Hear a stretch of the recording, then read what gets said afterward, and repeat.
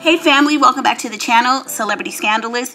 Well, there have been some new developments in this Christian Keyes saga.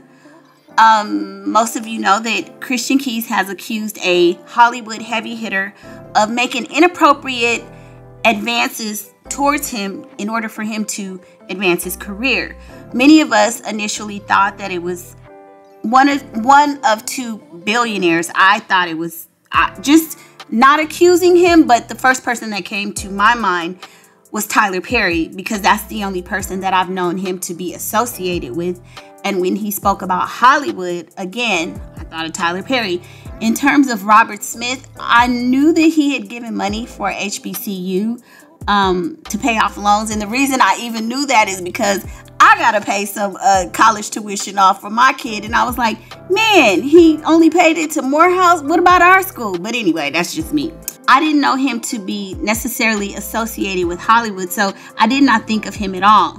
So apparently, in the last, I'm to say 48 hours or so, somebody made a comment saying it wasn't Tyler Perry. He allegedly liked the tweet. Then people were saying, oh, see, he cleared Tyler Perry's name. And then he made an additional statement saying, you know, unofficially, but tweeting, um, I didn't clear anybody. So there's a lot of back and forth online as to what's really going on. At this point, I'm just going to say he has not cleared Tyler Perry. So for those of us assuming that it is, I mean, he's not clearing it up. So that's going to lead a lot of people to still believe that it could possibly be Tyler Perry. Hollywood Unlocked just posted a comment of Christian Keyes saying people in the comments have been saying the person's name who uh, who harassed him. So yet again, he's affirming that some of us know who it is or we've identified the person. So this is just um you know, it's like he's giving us these they're calling it Blue's Clues. He's giving us these clues without really outing the person. So it just kind of makes it i don't know what what is the aim here? Is it do you want to settle with the person behind the scenes? Do you want to press criminal charges? Are you really trying to save other victims? Like it's giving mixed messages to many individuals. But again we'll just have to stay tuned and see, you know, what he actually exposes. Maybe he's really just struggling with what the outcome is going to be. I believe him saying as much as he's already said that he's already put a mark on himself. He's already marked himself to be blacklisted because the folks who support this kind of network and behavior in Hollywood, they're definitely not going to want to work with him. And so the powers to be probably are going to make it very difficult for you know him to get future work. People are going to be apprehensive.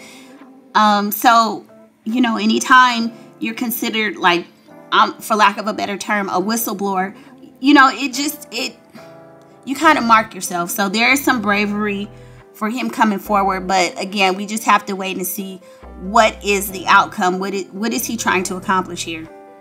The other thing i want to talk about is um many of us that have been fans of Tyler Perry, which I've been, I've seen his plays.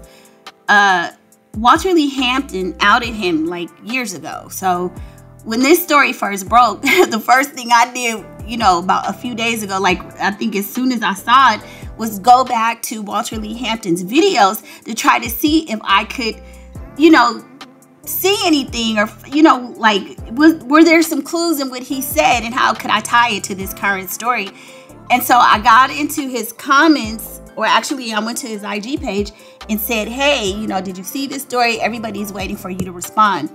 Um, so I haven't gone back to see what he said, if he responded to me. However, um, a day, a couple days ago, he did make a video and he said that, and this was all his opinion, that Christian Keyes was definitely talking about Tyler Perry, allegedly.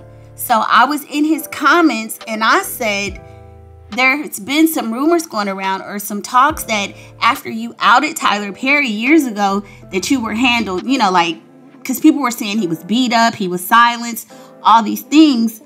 And he said that's all BS. So I think for a lot of people saying that, you know, Tyler Perry took any action against him, maybe you know, whether they're saying that he beat him up or he silenced him.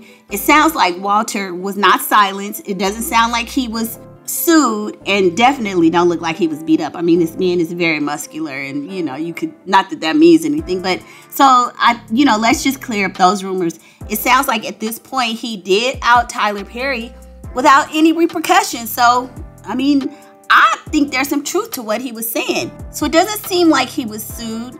Doesn't seem like there have been any major repercussions against him. So I believe there's some validity to what he was saying in terms of Tyler being part of the the community back in the day and not giving credit to the to the person who the actual Madea character that he based it on. You know, the person who he allegedly stole the idea from. So I believe there's a, a lot of validity in all of this. But anyway, those are my thoughts.